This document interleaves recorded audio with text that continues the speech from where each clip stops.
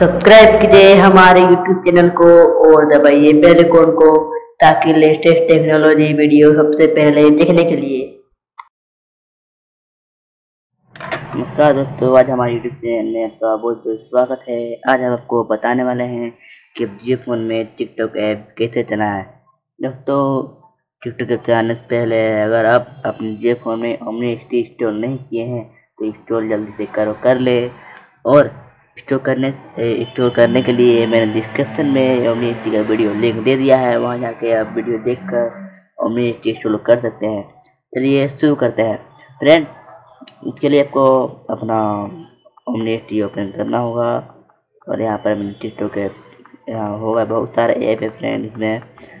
सबसे पहले आप टिकटॉक हाँ देखिए टिकटॉक दिख रहा होगा उसको ओपन ओपन कर ले। ओपन कर लेने के बाद आपका देखिए लास्ट में हम टिकटॉक ऐप आएगा, देखिए। दिख रहा होगा, टिकटॉक ओपन करें, टिकटॉक को और देखिए, यहाँ पर टिकटॉक ओपन हो जाएगा कुछ ही देर में, एकदम एंड्रॉइड ऐप जैसा। फ्रेंड मेरा में भी जियो फ़ोन में भी डाटा नहीं है तो इसलिए ओपन में थोड़ा टाइम लगेगा। आपको वेट करने की कोई ज़रूरत नहीं है फ्रेंड ये टिकटॉक ऐप ही है, ये डाटा भी आपका रहेगा तो टिकटॉक ऐप चलाएँगे।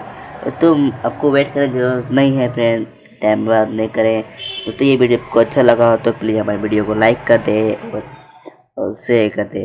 चलिए मिलते हैं अगले वीडियो में। आज के लिए इतना ही फ्रेंड मिलते हैं अगले वीडियो में। चलिए मिलते हैं अगले वीडियो में फ्रेंड